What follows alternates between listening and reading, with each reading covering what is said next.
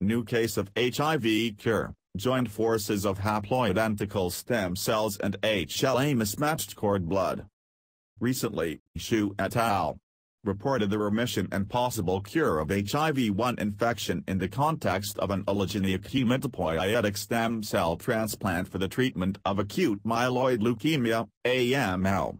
One This is the fourth case of a potential cure for HIV infection ever, the first in a woman, the first in a person of mixed race, and the first in which a CCR5 delta 32 delta 32 haplocord transplant was used. According to UNAIDS epidemiological estimates for 2022, 38.4 million people are currently living with HIV. After infection, the virus persists in latent reservoirs of resting CD4 plus T memory cells for a lifetime. With antiretroviral therapy, ART, the viral load can be reduced below the detection limit, which allows people living with HIV, PLWH, to lead a life largely unaffected by the disease.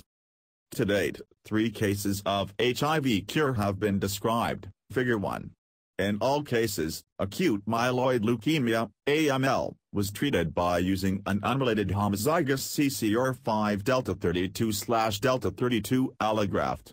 Homozygous carriers of the delta 32 deletion in HIV's co-receptor CCR5, 0.8 to 1% individuals of Northern European descent, are resistant to the predominantly transmitted CCR5 using R5 tropic strains. Thus, no rebound of infection from remaining reservoirs was detectable even when ART was interrupted due to the newly established resistance. The number of potential adult donors for hematopoietic cell transplantation is relatively small because a very close match of the human leukocyte antigen, HLA, is required for 8 out of either 7 out of 8 alleles. In contrast, transplantation of stem cells from the umbilical cord, UCT, does not require such a strict HLA match between donor and recipient. 2 Furthermore, it causes little graft versus host disease, GVHD, and less disease recurrence. However, limited numbers of progenitor cells in umbilical cord blood may result in delayed and unpredictable recovery. Moreover, adoptive donor T-cell transfer for treatment of viral infections or relapse after transplantation is not available. Hsu et al. now used an improved variant of the UCT, wherein parallel CD34 plus cells from a haploidentical donor were transplanted. One supportive co-transplantation of purified peripheral blood CD34 plus cells. CD34 is a marker for hematopoietic stem cells from an HLA haploid haploidentical donor leads to an early recovery of neutrophils and thus closes the gap between pre-transplant conditioning, eradicating residual leukemic cells and suppressing host immunity to prevent rejection, and engrafting of the UCT cells which reduces the risk for infectious complications caused by protracted neutropenia. To test the potential of haplocord stem cell transplantation for HIV cure, the present observational study enrolled HIV-1 infected individuals who required allogeneic stem cell transplantation due to an underlying malignant disease. Two HIV-1 positive middle-aged patients were treated, a man who developed Hodgkin's lymphoma and a woman who developed AML. Both patients underwent a haplocord transplant with CCR5 delta 32 delta 32 cord blood units. The man lost the CCR5 delta 32 delta 32 graft and died of recurrent Hodgkin's lymphoma within a year. In case of the woman, the transplantation process was uncomplicated. Initially, two weeks after treatment, 82% of her lymphatic and 98% of her myeloid lineages were derived from the haploid haploidentical donor, while after 14 weeks 100% engraftment with the umbilical cord cell lineage was reported. Of note, comparable to the Berlin patient, the patient in the present case received whole-body radiation in addition to chemotherapy for conditioning which was not used in the London and Dusseldorf patients to adjust for the increased rejection risk due to HLA disparity. 3 After a period of three years with undetectable HIV RNA levels, the patient decided to stop ART.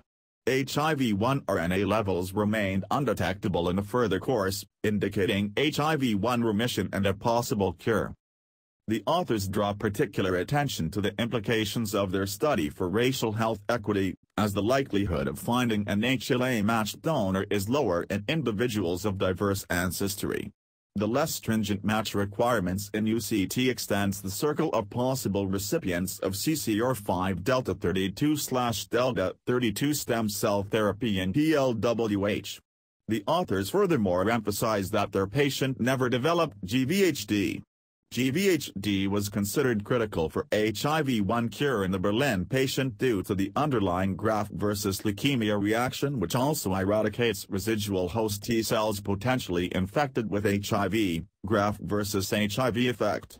In the present case, however, GVHD was not a prerequisite for the potential cure, and the optimized UCT method therefore appears to be particularly safe, without the undesirable sequelae of GVHD.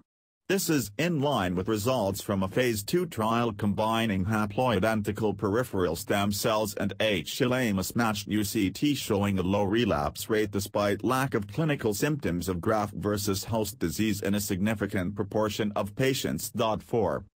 In the case of the Essen patient, the cure of the HIV-1 infection failed, as a rebound of previously undetected CXCR4 tropic virus occurred after transplantation with adult CCR5 delta 32-delta 32 stem cells. In the current case, the autologous virus was exclusively CCR5 tropic and thus could not infect the engrafted CCR5 delta 32-delta 32 cells. Unexpectedly the cells were also not susceptible to a CXCR4 tropic laboratory strain in vitro.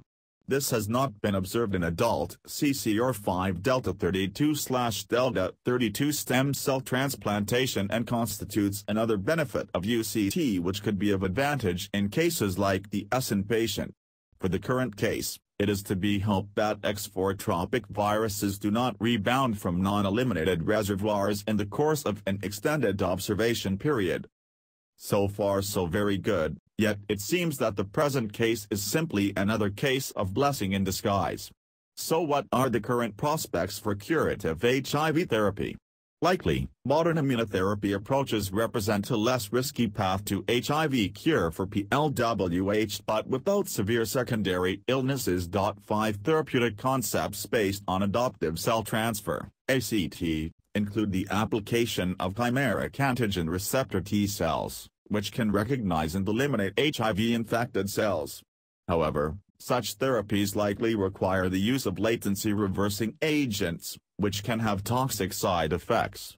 ACT also opens up the possibility of direct manipulation of the isolated T cells using genome editing, for example, via CRISPR-Cas9, either to directly target the integrated provirus or to generate resistant cells, for example, by introducing the CCR5 delta 32 deletion, but are challenging because of the risk of off-target effects.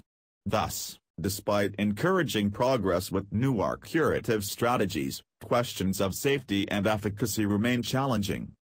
In summary, with the UCT-based therapy, Hsu et al. have successfully demonstrated the feasibility of an alternative strategy for HIV-1 cure, facilitating the inclusion of mixed trace patients, informing further developments in the field of gene and cell therapy, and raising hopes for more cases of long-term remission and cure. And cure.